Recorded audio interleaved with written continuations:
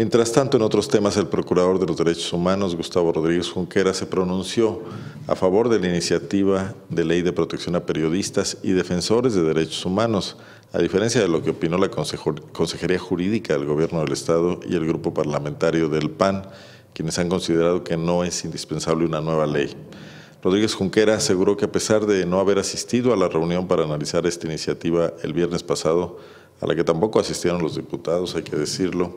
Un representante de su Procuraduría estuvo ahí y expuso este mismo punto de vista. Escuchamos a Rodríguez Junquera que las, las, propuestas nos las mandó el Congreso del Estado para nuestro punto de vista y desde el edificio central personalmente hice todas las observaciones que estimamos oportunas y el representante, el abogado que acudió, estuvo para exponer esos puntos de vista que habíamos hecho. Y por supuesto que estamos a favor de esa ley, por supuesto creemos que es necesaria esa ley y vamos a seguirla empujando junto con todos ustedes.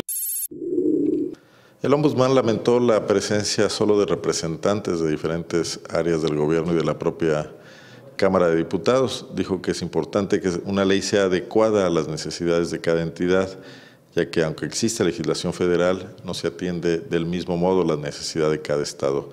De nuevo, Rodríguez Junquera. Primero quisiéramos que siempre estuvieran los diputados, por supuesto, ¿no? Aunque estaban ahí los asesores, en fin, por supuesto quisiéramos que estuvieran los, diputados, los miembros de la comisión. Sé que por ahí estuvo este, el diputado Saavedra, después llegó el diputado Orozco. Este, por supuesto quisiéramos, este, pero vamos a seguir trabajando y vamos a seguir insistiendo en esa ley. Hay muchas leyes, Violeta, que son generales